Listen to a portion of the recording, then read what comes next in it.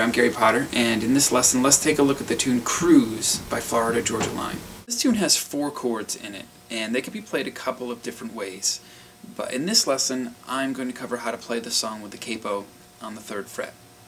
And it would be as if we're playing in the key of G, but with the capo on the third fret, that is going to move us up to the key of B flat. So the very first chord is a G shape, just on the sixth fret. So you're going to get your second finger on the sixth fret of the sixth string, first finger on the fifth fret of the fifth string, third and fourth string is open, and then the top two strings is on the sixth fret with your third and fourth finger. Looks just like that. And then the D chord is going to be your first finger on the third string on the fifth fret, third finger on the sixth fret of the second string, and then your second finger on the fifth fret of the first string. So going from the G to the D chord, you're going to see how I'm going to keep my third finger stationary to make the transition easier from G to D. So you get...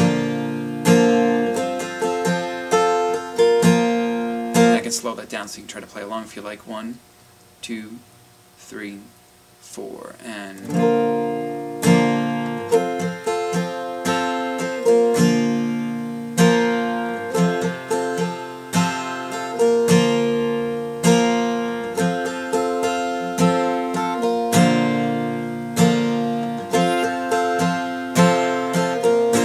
rhythm there would be down, down, up, down, up, down, down, down, down, up, down, up, down, down, down, up, down, down, up, down, up, down, down, down.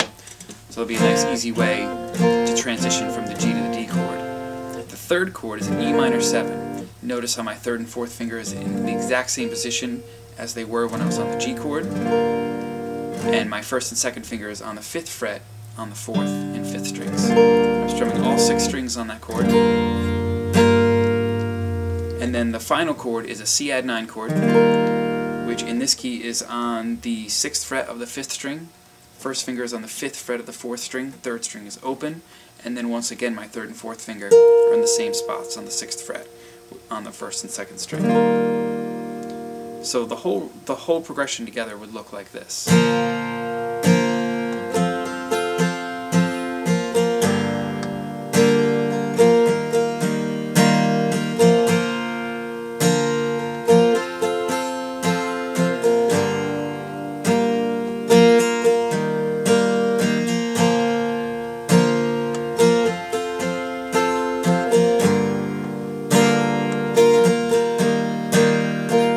Slow that down a little bit more. One, two, three, four, and...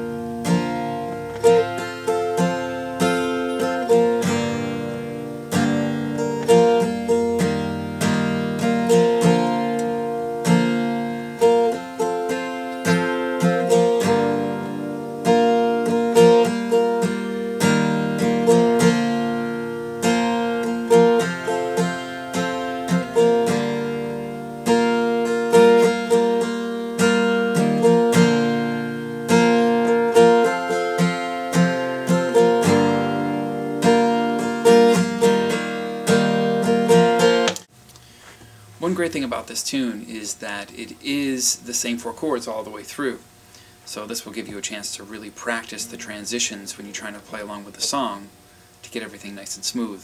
The thing to really pay attention to here is trying to look for any common finger that you do not have to take off or move when you're switching to a new chord.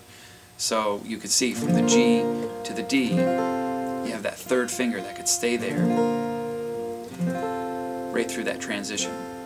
Now, when you get from the D to the E minor 7, once again, you don't have to move that third finger, so you can keep that as a pivot point to move to that chord.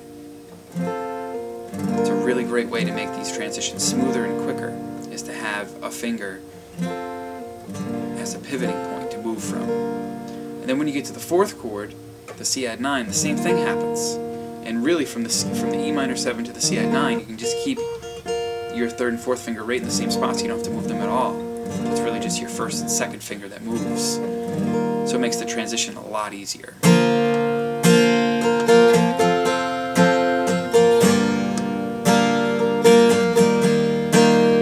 If I speed this up a little bit.